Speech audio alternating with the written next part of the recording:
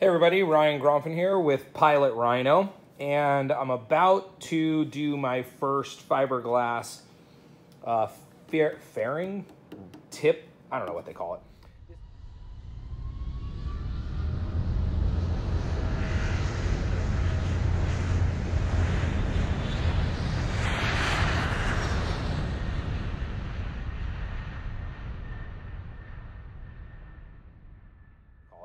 This is the rudder, not the vertical stabilizer. This is the rudder. And this is the top piece for the rudder. And then the bottom piece is somewhere in this mess. Anyways, over the last couple days, I've been going very slowly because this is the first one. So, you know, I took my time, I measured. There's a half inch gap. It's hard to see that in there.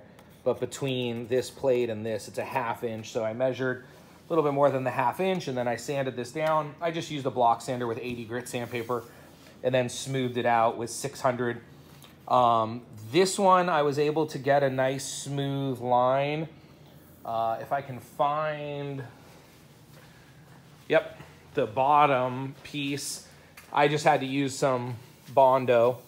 Um, so I'm gonna do a little more work. It looks like it dried and cracked or maybe there were two layers there. I'll do a little more work on this one.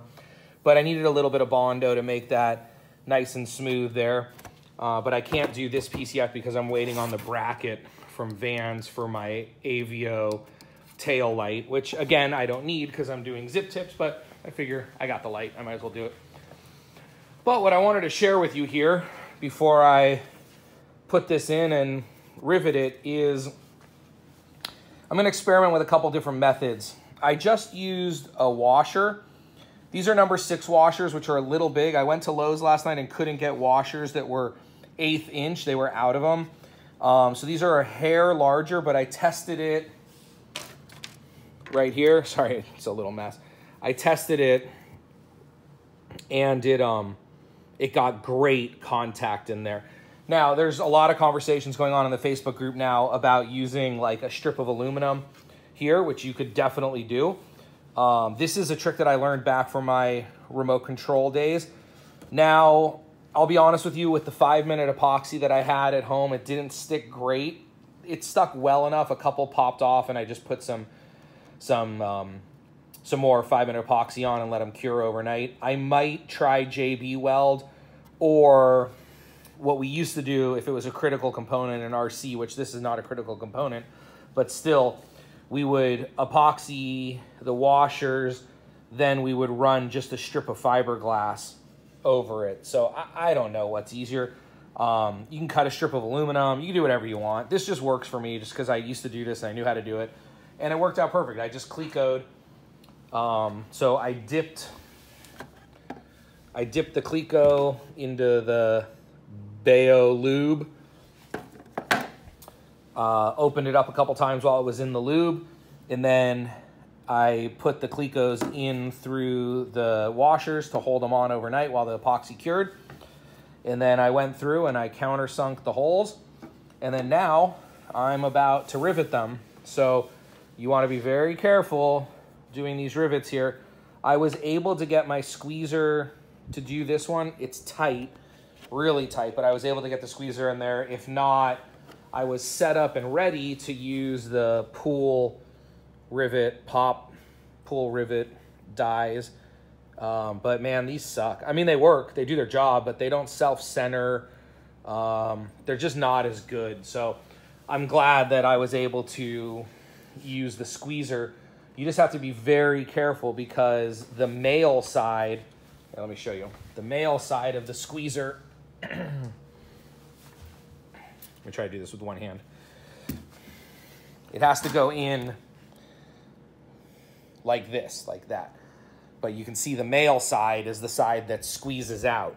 So if you're not very careful because you're you got the female side here, the male side is gonna push down into the hole. So you gotta slowly pull the trigger and make sure it lines up because look, I mean, punching a hole in here wouldn't be the worst thing in the world. You could fill it with a rivet. But man, when my rudder is done, the last thing I want to do is punch a hole in the skin on like the last step of the rudder. So you just want to be really careful, take your time. But that's it. So the next video that you see or the next picture you see is going to be of this fully riveted and attached. Again, there's a lot of conversation about using screws here. Some people use number six screws with nut plates. Some people use number four screws. There's arguments online of people that say all of these should be screwed in uh, in case you have to inspect it or in case you have to do anything. I went back and forth on it. I spoke to my local technical advisor, and he's like, dude, there's nothing for you to inspect inside your rudder. Um, maybe there is, maybe there isn't. I don't know, but I um, I'm riveting them. I'm trying to do as much of the build as per plans. Uh, every modification takes time, adds work. So the original RV10 from 2003 is still flying at Vans.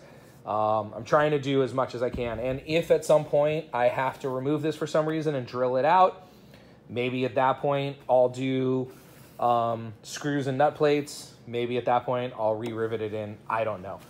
The one that I am going to screw in is this one. I'm going to use screws instead of rivets because I'm going to have a go. So this is my vertical stabilizer, the front piece, the big dome piece. I'm going to screw this in because I'm going to have a GoPro mounted up here. So there'll be a mount that uses, I think, these two screws. I'm going to double check that. Um, and then, so not only do I need screws because of that, but then there's going to be wire running through here. So I want to make sure that if the wire breaks or if there's an issue or anything, I can unscrew this and fix the GoPro mount and screw it back on and, and all that. But other than that, I'm trying to stick to the plans as much as possible. So I'll show you what this looks like when it's done. I forgot to film this video while it was still in the garage, but this is it. Uh, all cleat up or um, riveted up. Got a nice line. There's a little bit of a gap there, but uh, I, I tried even when I pre-drilled it or when I match drilled it, I just couldn't get that gap to fill. Um, but it's it's not noticeable. It's the top of the rudder.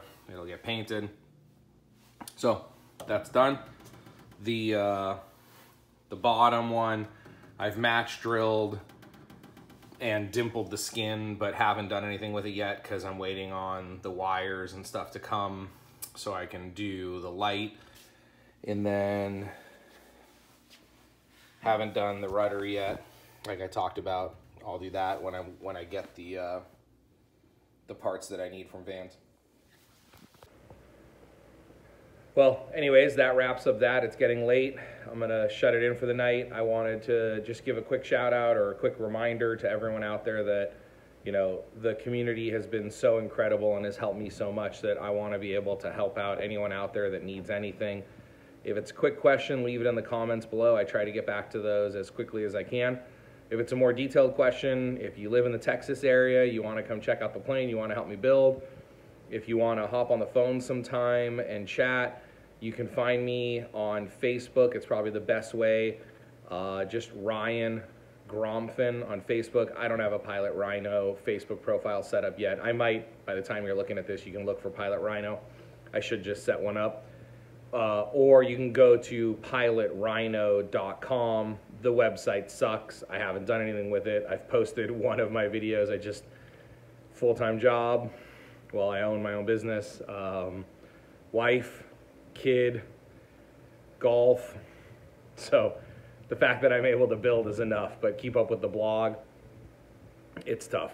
But anyways, there's a contact form. You can shoot me an email directly. You could shoot me a direct message on Facebook.